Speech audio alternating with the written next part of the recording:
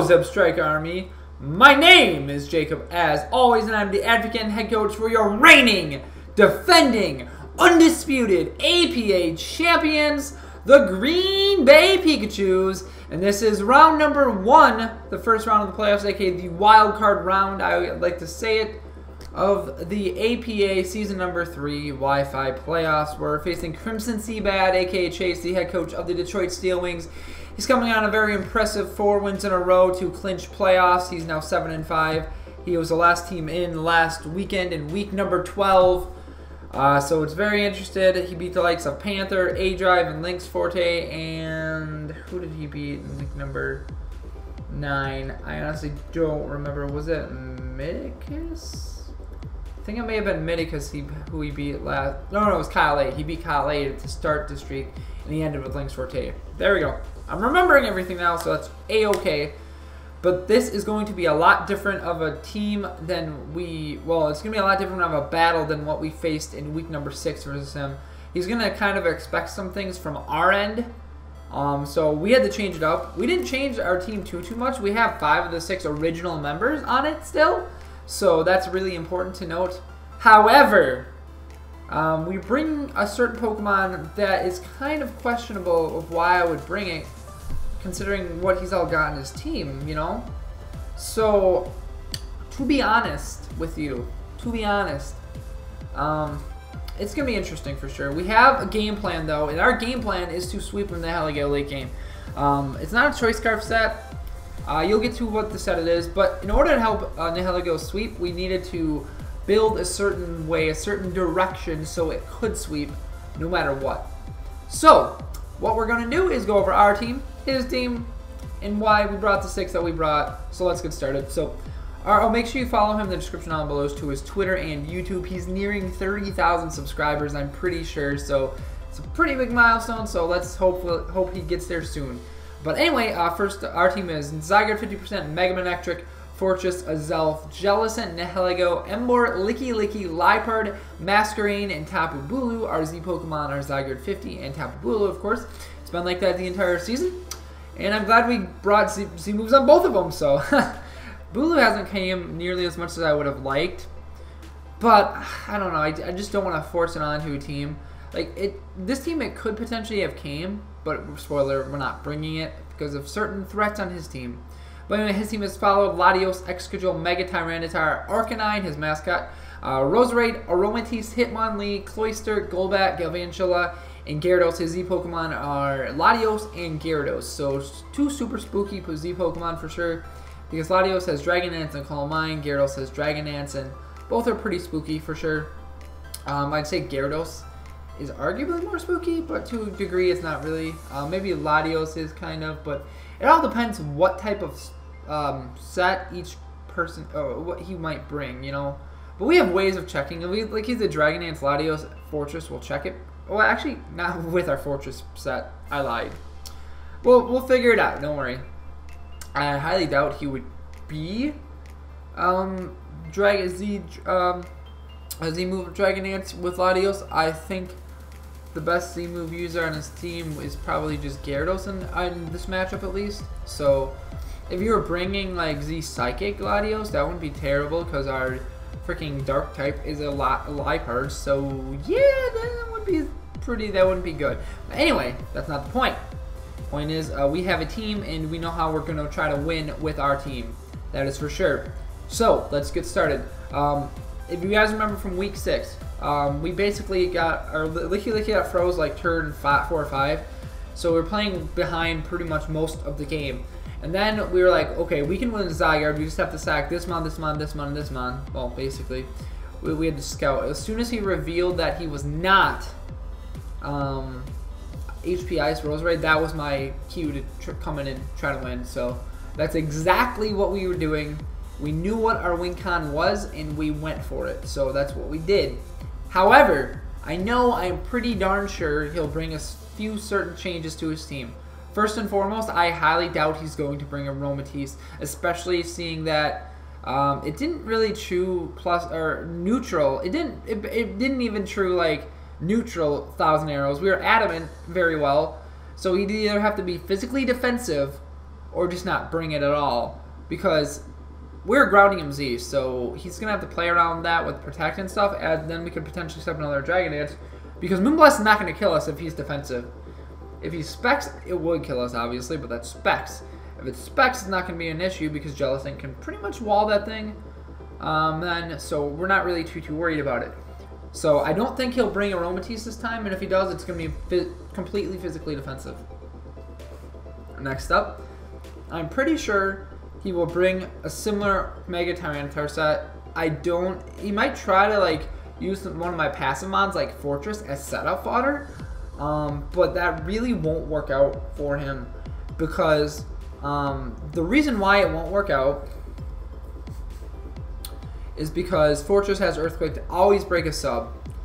With our investment, and always break a sub once we get that far. So, um, so I don't think I don't know if you bring that Tyranitar. I think his Tyranitar set was perfectly fine last time, except for substitute Earthquake for Crunch, and then he's got a good set because he's got like Flamethrower, Fire Blast, Ice Beam. He's got Flamethrower slash Fire Blast, Ice Beam, Rocks, and Crunch. That hits my team really, really hard. Um, not nothing on my team really appreciates that move set. Um, Earthquake, I'm not really too sure why he brought last time, considering I had Bulu. Um, and like Assault Vest Bulu kind of just walled that set. So I kind of think he might not bring that, or might not. He might. He won't bring Earthquake again. Is what I'm saying.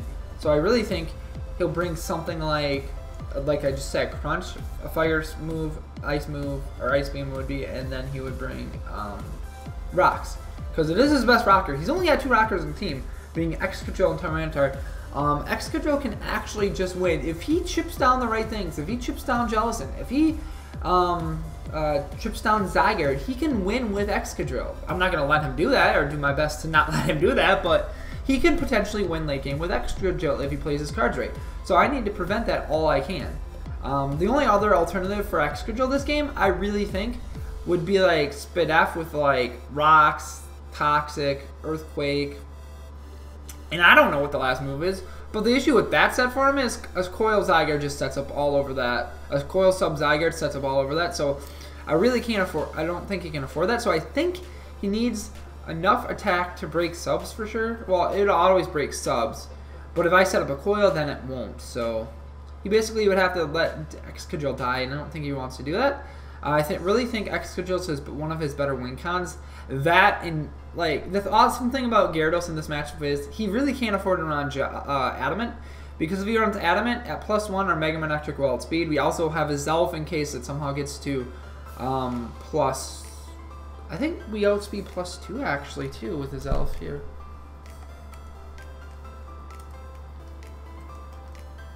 Yep.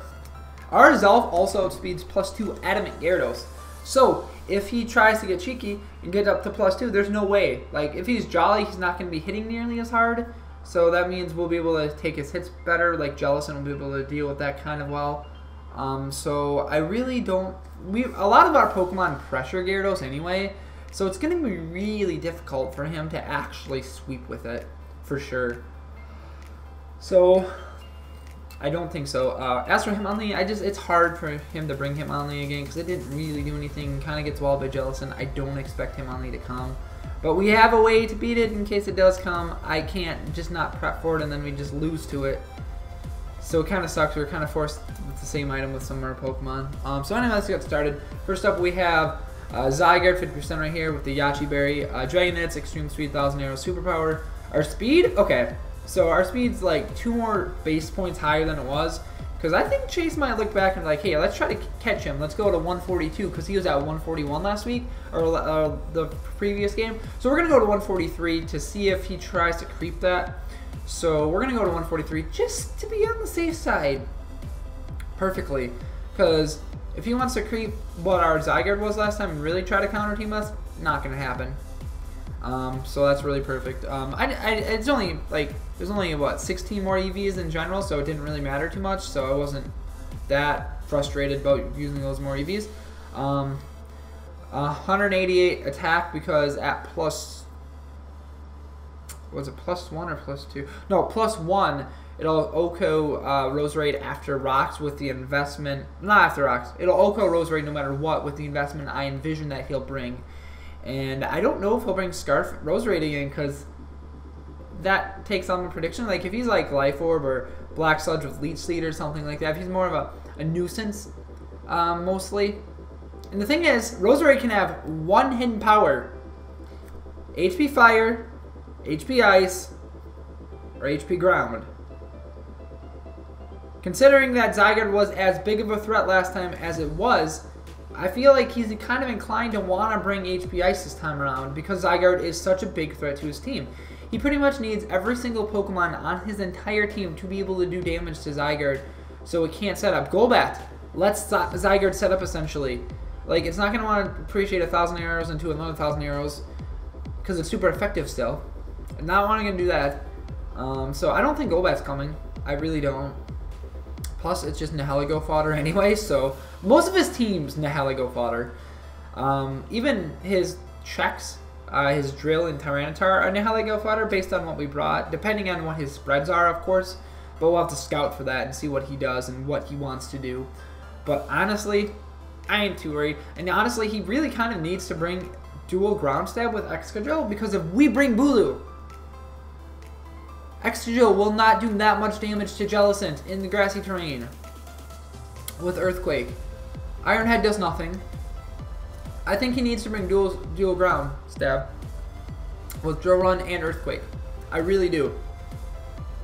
I think it's really important actually that he brings dual ground stab because Masquerain it ain't coming this matchup. It doesn't really have a good matchup honestly. Um, it just doesn't get coverage I need this matchup. I mean, it could do some. I wish it got like Tinted Lens as a backup ability. That would have been pretty nice if we got like Tinted Lens as like a different ability besides Intimidate. That would have been pretty sweet. And then we would have been able to spam uh, Bug Buzz pretty freely versus team. Like Specs Bug Buzz actually hit his team pretty hard outside of uh, Gyarados and Aromatisse. Even that, like Tinted Lens, Specs Bug Buzz would have been pretty cool, spam, pretty spammable versus team. But doesn't get that, so sadly we can't. So we're not going to bring Masquerain. So I really think he could just afford duels. He doesn't, and plus Iron Head's still to hit it decently hard anyway, so he doesn't need Rock Slide. So honestly, like he could afford to go that, especially if we have grassy terrain. Because what, what is it to do? To, it does nothing to Jellicent. He'd have to eliminate. That would just be another roadblock that he has to do in order to win the game, where he can hit Drill Run at least hit Jellicent harder than what Earthquake would under grassy terrain. So I think Drill Run's to come. I'm pretty sure. Just in case. Well, he'd bring Earthquake too, because if we don't bring it that way, he's got that stab at least still as well. Um, he could probably potentially bring Life Orb. It all depends.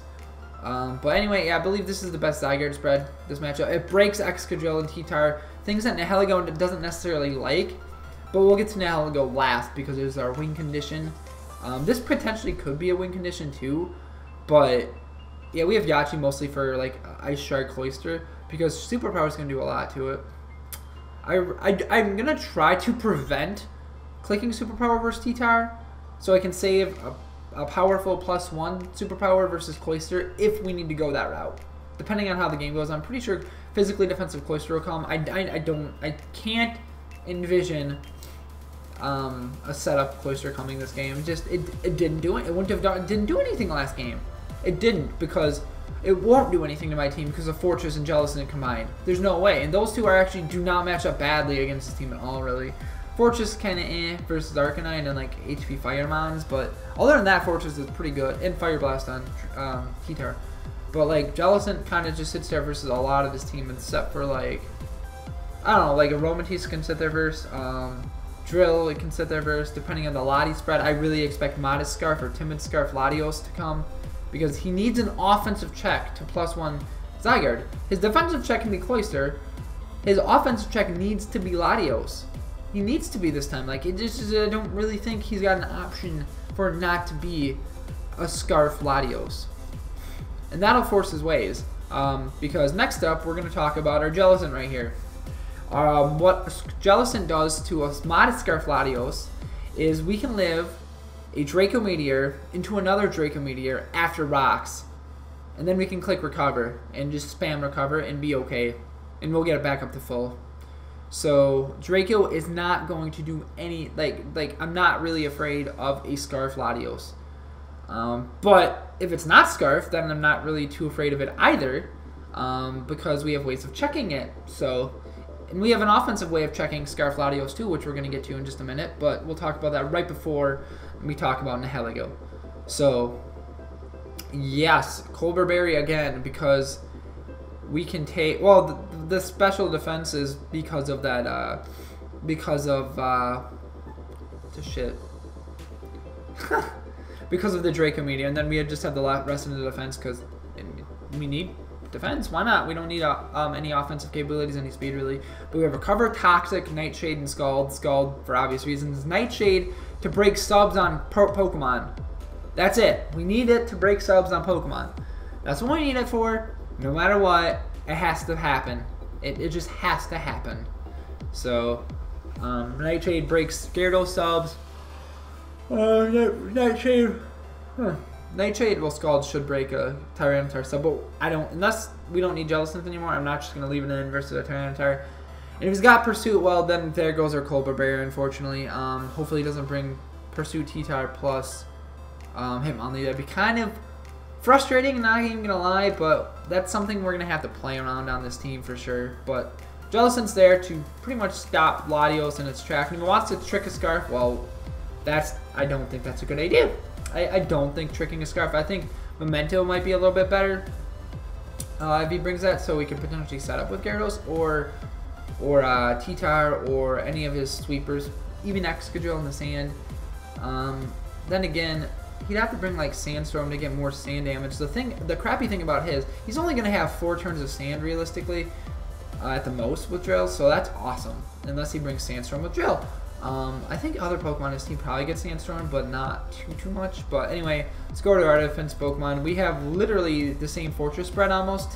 It's a little bit different, um, but we have 20 attack with Earthquake this time because to break T-Tar subs. That's max HP T-Tar subs. I doubt he'd be like, I mean, I guess he could be like Jolly Dragon Dance with, because if he's adamant, um, Gyarados will outspeed, and so will Azelf which we are bringing.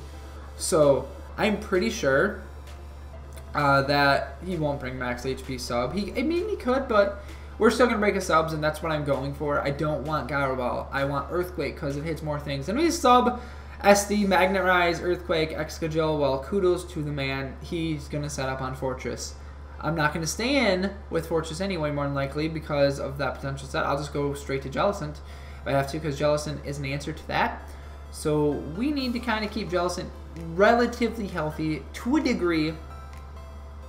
Um, I do not want to get rid of Latios' item because if he's Scarf like I anticipate, that means he's got to lock himself into one move. If he locks himself in the Draco, Nihilego can come in. If he locks himself Psyshock, Zygarde can come in.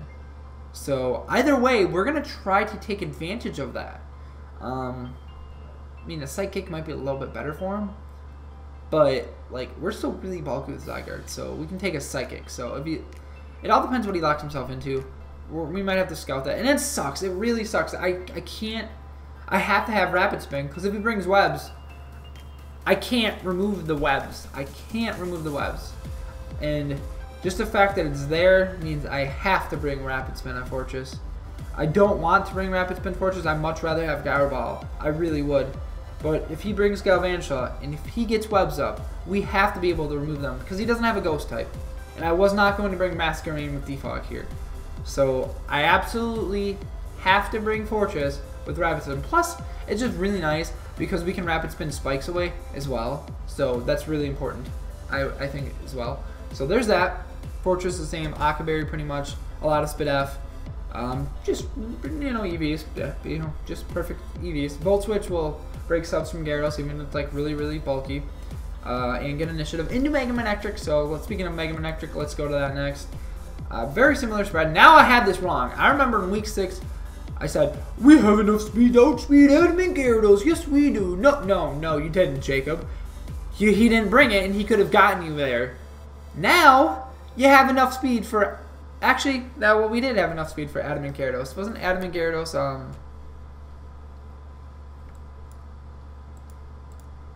Wasn't I, am pretty sure Adamant Gyarados was uh, 132, wasn't it? Now I have to check.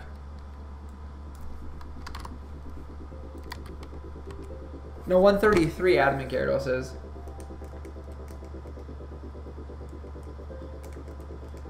we made enough speed for a Jolly Tyranitar now, I think. Um, is that what we did? I thought we did that. Yeah, Jolly Tyranitar we outspeed now. Um, that I, okay, I wasn't lying.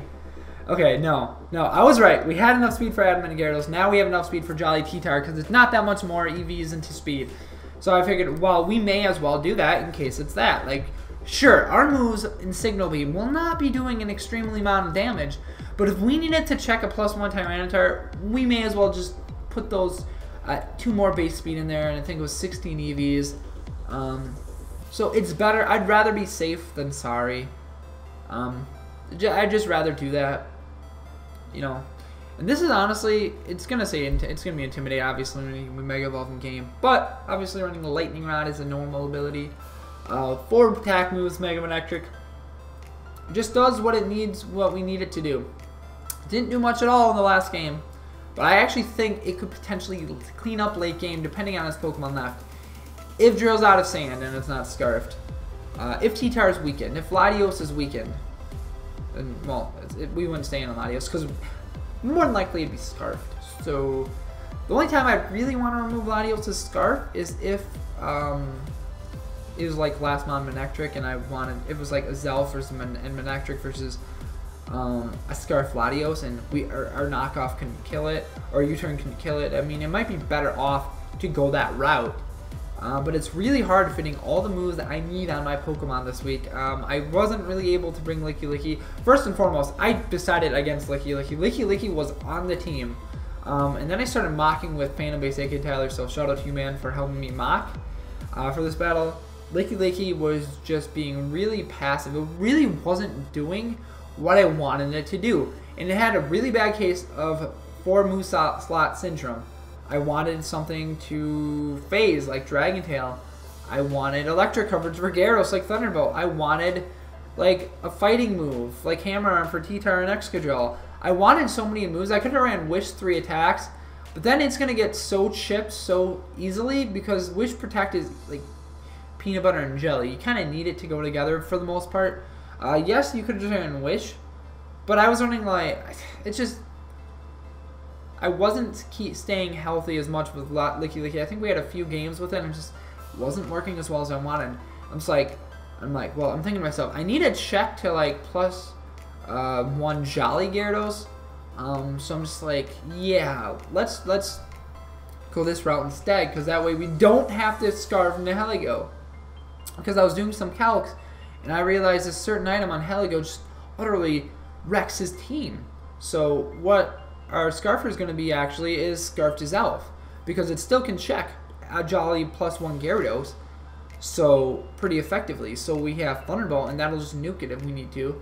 We have U-Turn, Psychic, and Magic Room. You might be wondering why in the holy hell do you have Magic Room? Well, young Grasshopper, say Sand's just about to end, it's Excadrill, okay, not, okay, that's a terrible example. Say, um, Sand is Say say drill is scarf we figure out, and okay, so yeah. Say he brings dual scarfers. He brought dual scarfers the first game. So, say he brings dual scarfers this game again with like Latios and Excadrill this time. I don't think drill will be scarfed. I don't, but just say it is, and we're in versus Azelf, right? And I know drill is in range of foul play from Helico. So we click Magic Room. Scarfs are gone, right? So what happens then? So Magic Room takes his turn. It's just like Trick Room. So we have four turns left. We go into Heligo, which is a Life Orb to Heligo. I usually hate the item Life Orb. I'm usually just, I don't, I'm hell-bent against not using it. But we're using it this time because it does so well versus his team. Life Orb Foul Play does a lot to Excadrill. Sludge Wave hits Aromatisse, Roserade, Hitmonlee, Cloyster. Power Gem hits Golbat, Arcanine, Gyarados, Grass Knot hits Tyranitar. This thing absolutely nukes his team. Um, so if it's a Spadef drill to an Adamant drill, so Foul Play, Life Orb Foul Play will do anywhere from 40.5% to 75.5%. Well, that okay, not in one calc, not depending on his spread, of course. So if he's like a Spadef one, he'll do like 40 to 48. If he's an offensive one, he'll do like 63 to 75, somewhere in that general vicinity. But I will scout the set really quick. So as long as he's out of the sand, we're good. We are golden. So that's good. We just have to be really careful with how we play this game. Our main lead's probably going to be Forretress, but don't be surprised if I lead Manectric or Zygarde. I could lead any of three of those. I will more than likely not lead Jellicent, Azelf, or Nihilego. Nihilego our win con. I will not risk that. Um, Zygarde, Manectric, or Forretress. And honestly, I don't think he'd expect a Zygarde lead because usually, more often than not, Zygarde has been a win condition like all year. So he's not going to expect that as a lead. And I think we can really get him going. I really think um, we can potentially just see what happens, you know. I can just, I can, I can get him good by leading Zygarde. Be like, I led Zygarde once though in week 10, I think, against Minikis. So I'm not opposed to leading it. Don't get me wrong. But more often than not, I'm not going to lead it because usually it's been our win condition. So I'm going to anticipate Chase to think that same way. Um, but yeah, like I was saying, and then uh, with Grass Knot to Life Orb Grass Knot to Tyranitar is 46 to 55, and that's max HP Tyranitar, Mega Tyranitar. So yeah, it's pretty crazy how strong the Heligo is this matchup. And I don't, I'm glad I didn't realize it then because I might have brought this set then, and we wouldn't have it for now, and he'd have to prepare for it. Now he doesn't have to prepare for it, so I'm glad I didn't necessarily realize that. And oh, I do need to explain one more thing with this team. So basically, you got to see this spread. So we, we, okay, we're not creeping anything with Nihilego, and that's because we want to hit, be able to hit as hard as we possibly can with Nihilego here. And um, with 172 special attack, we have to go max speed so we can hit as hard as possible. Because if we are creeping, say, does he have a base 100? No, he's got no base 100 Pokemon. So we'd be creeping um, Arcanine here. So we'd go down to this spread, and then and then I, I want to get the speed boost. So we're not hitting nearly as hard anymore. We we're gaining eight attack points, not like EVs, but eight attack points. So I'd much rather just go a spread like this, so we can hit a like a decent amount harder here. Um, well, with her special attacks. Obviously, Foul Play will be doing the same to Pokemon like Excadrill and everything like that. And also, you know what's awesome? Chase probably realizes, and this front office probably realizes that I speed creep weirdly. Like now it's weirdly state. I speed creep speed creeps. So usually I don't just speed creep this closest thing. Sometimes I speed creep like the next thing. So for example, with Zygarde, mm, not Zygarde. Um, for example, um, say Arcanine is going to speed creep Okay, Arcanine's what if he would bring it and brought it offensively, he'd bring max speed. But say Arcanine would speed creep. What's the next closest thing? Yo, is it Masquerain? So I would go all the way down the Masquerain with it. So that's what I would do. So I'll go all the way down to Masquerain, and I'd speed creep it. I didn't have Masquerain in the last matchup, so that's, that might help make him decide on certain things on his team. But I have Masquerain. So say he goes all the way down to that, and it would be 146 speed and his uh, front office might catch on that and be like, oh, then they can realize with Latios, hey, we can just run enough speed for max speed Zygarde. We can just totally avoid Nihilego. But if they don't run enough speed for Nihilego, they're going to get bopped. Because I just wanted more power. And you're seeing that right now. So I, I'm trying to, I've been training, it's like Sig, it's like uh, the dog, uh, Siegfried's dog, not Siegfried. Pavlov, Pavlov's dog. He trained him into thinking he's going to do something like whenever you ring a bell, you get a treat. The dog gets a treat. So basically, I'm just creeping into getting people to think that I'm going to creep certain ways. Now there's a whole kind of mind games right now, guys. You guys, nobody ever knows how I'm really going to creep. So that's interesting. I could creep very safely, and I could be really aggressive with my creeps. You have to change it up. You have to change it up in draft format or you're going to get bopped. Because if we if we just ran enough speed for Arcanine, he'd outspeed us. But if if like he might just realize think that we're just going to speed creep Arcanine and just make it a little bit speedier, so we'll get him as long as we're at plus one. We want the speed boost because we are a life orb offensive. Um, we don't want anything else. We don't want the special attack boost. We want the speed boost because that will help us sweep. Granted, I really think he'll bring priority in Pokemon like Arcanine. Well, Arcanine's extreme going too much. But in Pokemon like Hitmonlee, maybe Mach Punch, Ice Shard, and Cloyster, I'm pretty sure. Because if he would have had Ice Shard, if he would have had that damage, he would have been good. He would have been amazing. He would have been great. He would have been good to go. But he didn't have that. So, just saying. Sometimes you can't. Sometimes it just happens the way it happens. But I'm really, really happy with how this team worked out. I did mock a few times with Tyler with this team, and it went pretty well. Um, hacks happened in the mock battle, but you know, we won like three or four, I think, or something like that. But still, that was the game we lost was the hacks, but it didn't really matter. Um, it's just a mock. Just hope we don't get. Just hope we don't get hacks in this game. We might. Who knows? But that's Pokemon. It's okay if we get hacks.